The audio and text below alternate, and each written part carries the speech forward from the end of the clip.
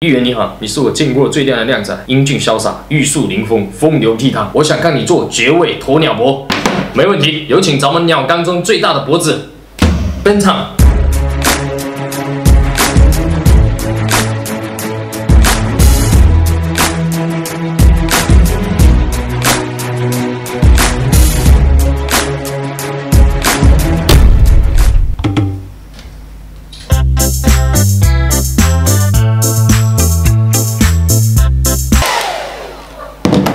看在你这么有眼光，还这么诚实的份上，那我就成全你。确定这么不要脸的留言是观众留给你的啊？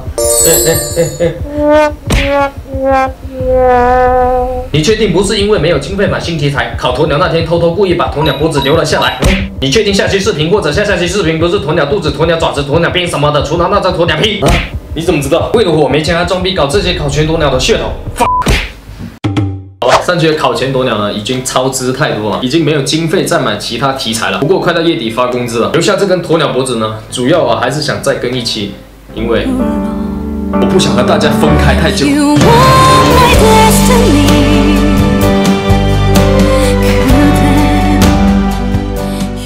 卤鸭脖子，我想大家都应该有吃过吧，大街小巷都有。呃，什么周黑鸭、绝味鸭脖啊，没什么肉，但吃起来倍香，所以有理由相信这一条跟鸭子同属一个鸟纲的最大的鸵鸟脖子，卤起来的话应该一样很好吃。其实那天我去养殖场买鸵鸟的时候，我就觉得它的头跟鸭子特别像，都是嘴巴扁扁的，然后啄人呢一点都不痛。我还买了一条鸡脖子跟鸭脖子，对比一下，体积真的相差好多。看吧，这鸵鸟脖子跟这个鸭脖子，总体除了体积之外呢，其他真的好像，估计它。它们的肉质也相差不多，卤起来吃的话，应该跟鸭脖子没差多少。不过它这么大，肉这么多，等一下整条吃起来一定很过瘾。那咱们现在就把它卤了吧。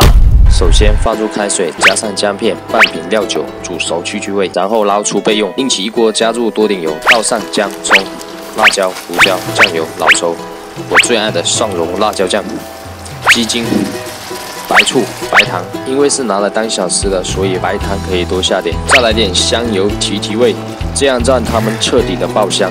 此时的味道就已经非常诱人了。最后把调料都倒到我们的大锅上，放上我们的脖子，加上足够的水后，放上卤料包，上盖煮开，用小火卤上四个小时。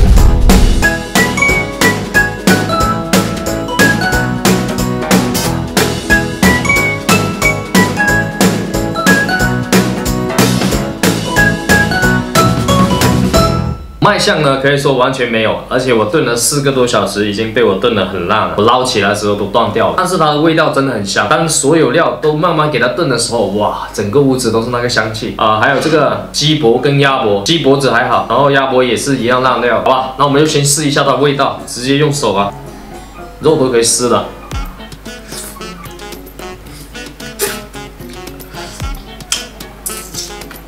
虽然炖的很烂，导致没什么卖相，但是味道哇，真的够入味，很爽。哇，这些肉，嗯，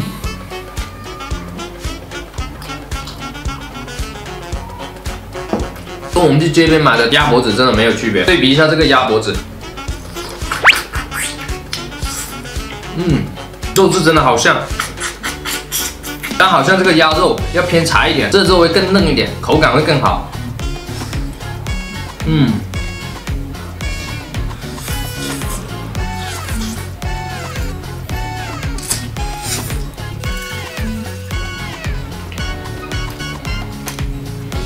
爽。这里的骨头肉真的很香。